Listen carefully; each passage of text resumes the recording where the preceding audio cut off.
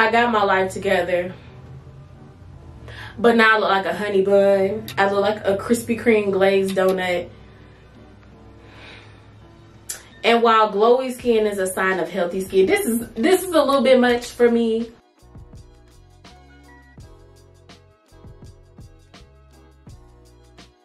Hello and good morning, y'all. I'm Amari Callista and I am going to show y'all my morning routine.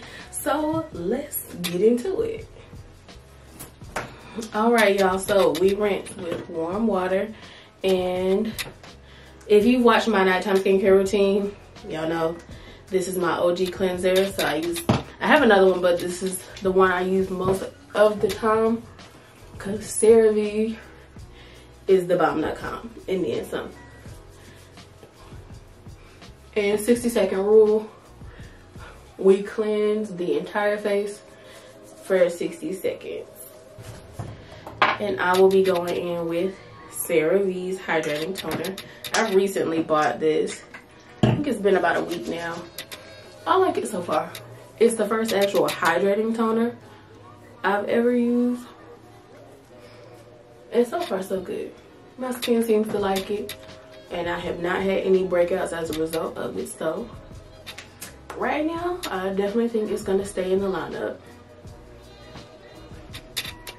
And if you have oily skin, like I do, hydration is just as important for oily skin as it is for dry skin. So invest in a hydrating toner if you are not already using one. And next, while my skin is a little damp, let me think. I'm gonna go in with some lactic acid. I don't use this every morning, only when I'm having a little pimple action, kind of like right here. But for the most part, um, if my skin is looking normal with no active breakouts and not a lot of hyperpigmentation, I'll use this maybe twice a week or every other day for a week. And I'm going in with just a little bit, a couple of drops. And make sure I'm getting the trouble area. Okay, so after the lactic acid, because I do have some pimples, probably should show y'all. Zapzyt, I've been using this for several years now. You can get it at Walmart. And I'm sure you can get it on Amazon too, but I get mine from Walmart. I wish it would. There we go. Zapzyt, it's just 10% benzoyl peroxide. I said this, I think, in my nighttime routine because I do use this day and night, depending on if I have any active breakouts. Um, they do make, I know, a 3% benzoyl peroxide gel. If you've never used benzoyl peroxide and your skin is pretty sensitive, I do not recommend starting off with the 10% because it will absolutely irritate and dry your skin. So work your way up or you may just find that the 3% is best for you. You may not need the 10%. Um, some of this stuff has been trial and error for me, but I am also a licensed cosmetologist, so I do know a little something, something. I'm not on here just telling you to use stuff just because it went viral on social media or everybody's using it. I've done my research and experiments. okay. I I've been using this for a while. It works, so I'm going to keep using it even though I use the CeraVe toner now. I only do this really just to keep my skin hydrated in between each step. Okay, next, Good Molecules Super Peptide Serum. I use this in my nighttime skincare routine. It's not one of my favorites necessarily, only because it's not like a super hydrating serum. So I could do without it, but not until the bottle is empty. Um, but you may find that it, it, works well for you. I mean, you should definitely try it. I just like when I'm using serums, I like for them to be thick and really feel like they're moisturizing my skin and really giving me that super good glow.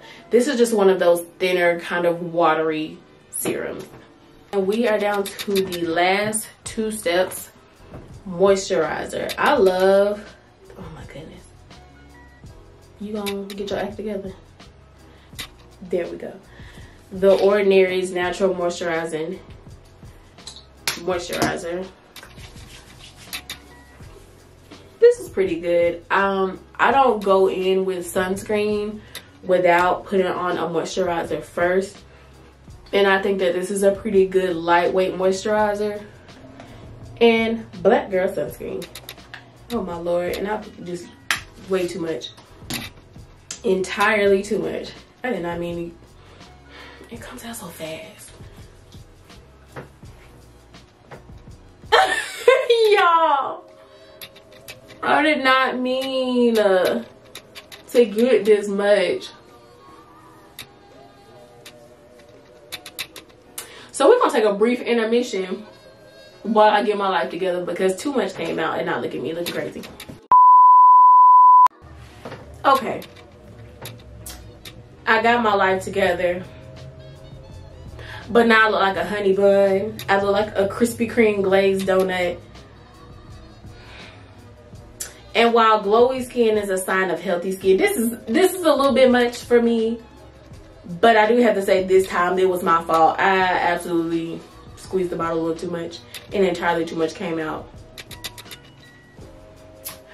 But I mean if you like, look at how shiny my skin is, y'all. That's it for my skincare routine. Thank you so much for watching. Um, let me know what else you want to see if you want to look like a nice glazed donut, a delicious honey bun, get into the Black Girl Sunscreen. Subscribe, leave a comment, and uh, I will holler at y'all in my next video.